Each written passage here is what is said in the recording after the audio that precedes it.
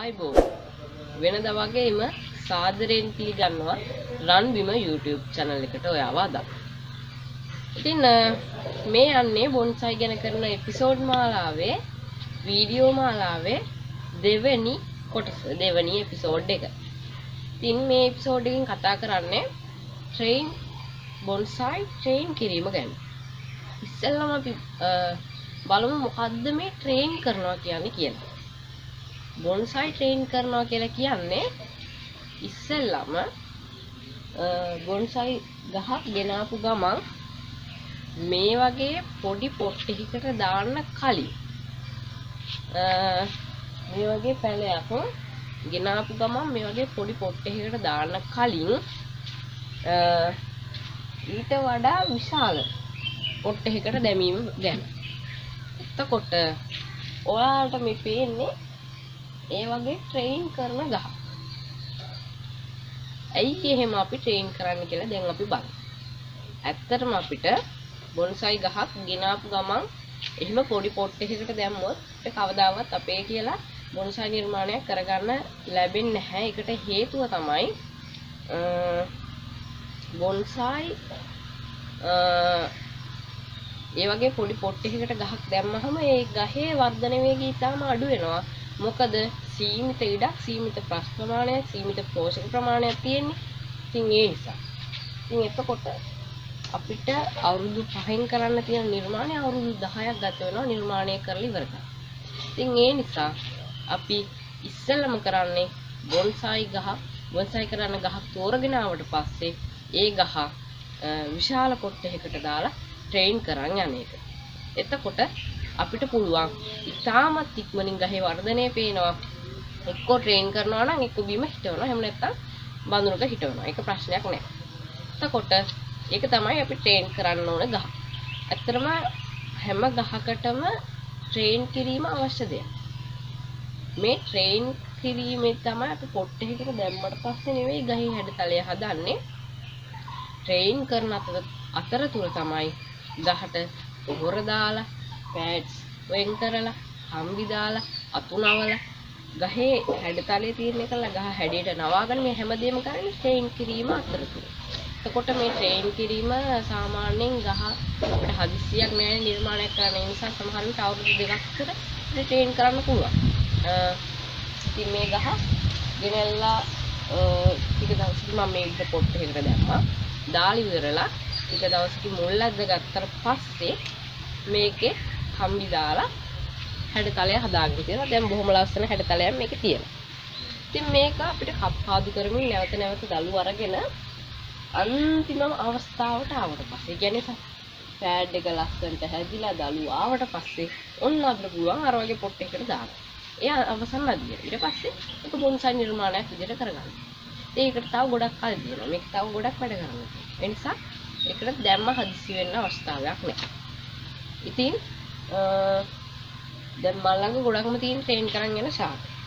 ඉතින් මේ බොන්සයි වල හැඩතල තියෙනවා විශාල ප්‍රමාණයක්. ඒ හැඩතලයක් අපි මේ ගහට ලබා දෙන්නේ ට්‍රේන් කිරීම අපිට. උදාහරණයක් විදිහට මම මේ ශාකය මේ ට්‍රේන් කරන ශාකය. එතකොට මේකට මම විදිහට දිරප් හඳක් ක හැඩය මේකට ලබා දෙන්න. ඉතින් ඒ ගැන මම වෙනම වීඩියෝ එකක් කරන්නම්. මේ වීඩියෝ එකෙන් මට ඒ ගැන වීඩියෝ කරන්න හැකියාවක් නැහැ. මේ නැත්තම් වීඩියෝ එක දික් වෙනවා ඒක. ඊළඟට ඉතින් අ, ওই විදිහට අපි අද දැන් බලමු. දැන් මේ අපි මේ හැම පැලෙම කඩෙන් ගෙනාපු ගමන් පොඩි පි- පොට් එකකින් ඉඳන් නැතුව අපි මේවා ට්‍රේන් කරන්න ඕනේ. එතකොට මේ තියෙන්නේ මං ඊයේ දවසේ අ, කඩෙන් වෙළඳ පොලෙන් මිලදී ගෙනාවු අ, පැල දෙකක්. ඉතින් මේ තියෙන්නේ කුඹුක් පැලයක්. මේ තියෙන්නේ අ, නුගු කුලේ පැලයක්. නම මට හරියටම කිව්වේ නැහැ. එතකොට අ, මේ කුඹුක් පැල අපිට බොන්සයි ගන්න පුළුවන් බොහොම ලස්සනට ඕන තැනක අපිට හොයාගන්න පුළුවන් වෙල් වල ගංගාශ්‍රිත. හැබැයි මට මේක හොයාගන්න බැරි වුණ නිසා පැලයක් මම වෙළඳ පොලින්ම මිල දීලා ගත්තා. දැන් මේ ගහ ඔබට පේන බැලු බැලමට ගොඩක් උස ගිහිල්ලා තියෙනවා. ඉතින් මේ වගේ උසට ගිහිල්ලා අපිට නිර්මාණයක් කරගන්න පුළුවන් හැබැයි කල් ගත වෙනවා. අ, අඩි දෙක විතර නිර්මාණයක් කරන්න. මොකද උසට සාපේක්ෂව මහතත් ඕන නිසා. ඉතින් මේ කප්පාදු කරන්න නැහැ. ඉතින් ඒ නිසා මම කියන්නේ මේ වගේ ගහ ගැනලා කවදාවත් දෙපාරක් හිතන්න එපා ගහක් අඩු කරන්න. අලුතෙන් දළු දානවා කිසිම ප්‍රශ්නයක් වෙන්නේ නැහැ. ඊළඟට අපි දැන් යන්නේ මේක බඳුන් ගත කරගන්න මොක් පැලේ. මොකද මේ වගේ පොට්ටි එක අපිට මේකේ වැඩ කරගන්න බෑ. අපි මේක ට්‍රේන් කිරීම සඳහා බඳුන් ගත කරගන්න තමයි දැන් සූදානම්. එහෙනම් අපි ගිහිල්ලා බලමු මේක බඳුන් ගත කිරීම සම්බන්ධව. හරි ඉතින් අපි එහෙනම් වැඩේ කරමු.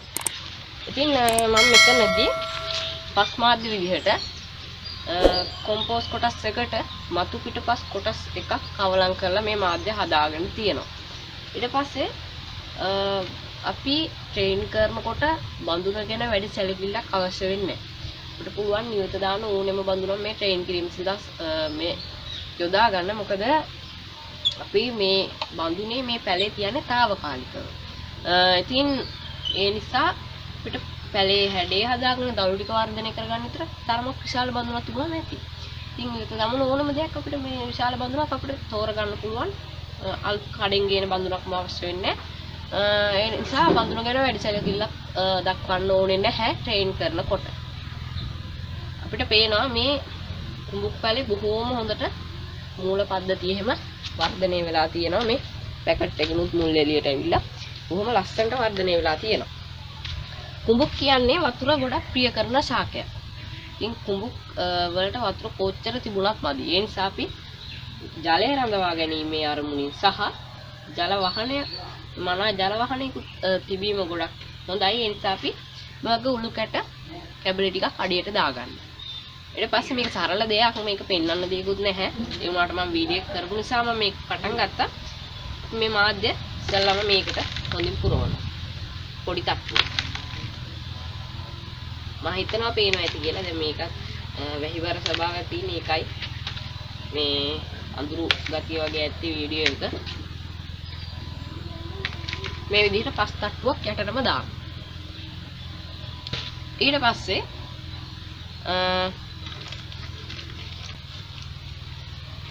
ඊට පස්සේ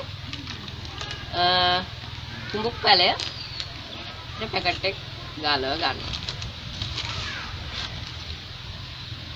දැන් අපි මේ බඳුනේ පොඩි ප්‍රමාණයක් ඉඩ තියන්න ඕන සම්පූර්ණයෙන්ම කටමට්ටමටම පස් පුරවන්නත් එපා. එතකොට අපිට පොහොර එහෙම දානකොට පොඩි ප්‍රශ්නයක් වෙයි. දැන් මෙන්න මේ විදිහට පැලේ මැදට වෙන්න තියලා පස් පුරව ගන්න.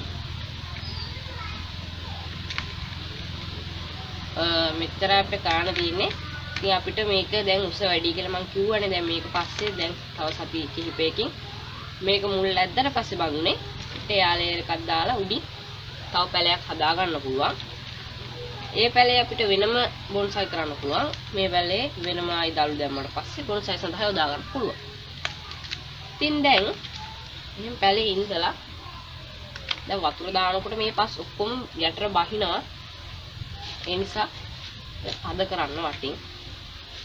වටෙන් තද කරන්න මේ අර මූල මණ්ඩලයට කිසි හානියක් වෙන්නේ නැති වෙන්න. ඉතින් තද කරන්න. දැන් මේක අපිට බොන්සයි ගාන්ට් පෑඩ්ස් හදලා ඒක නිර්මාණය කරගන්න කන් අපිට මේක මේ බඳුනේ පැලයක් විදිහට හදාගෙන යන්න පුළුවන්.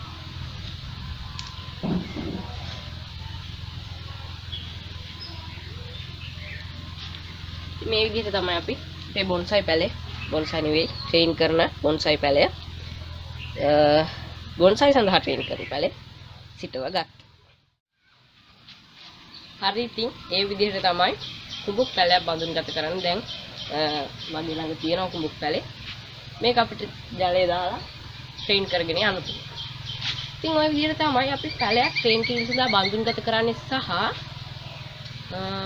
ට්‍රේන් කිරීම ගැන තමයි මම අද වීඩියෝ එකේ නාවේ වැදගත්කම. ඉතින් මම ළඟ ට්‍රේන් කරන් යන ගස් ගොඩක් තියෙනවා මේ බොක්ස් උඩ් ගහක් මේක ඒ වගේ බේස් මුක් දාලා මම ට්‍රේන් කරන් යනවා. ඉතින් මා ඔයාලට කියන්නේ බොන්සයි කරනවා නම් අනිවාර්යෙන් ට්‍රේන් කරන්න ගහ.